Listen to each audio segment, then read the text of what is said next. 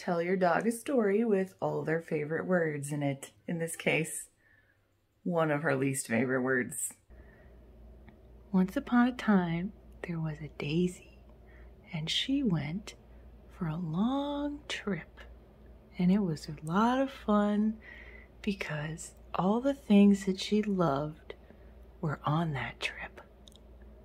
One of those things was a ball, and another one was a treat. And then there was also a walk, and wow. Then they went to the dog park, and it was a lot of fun too because then they took a bath.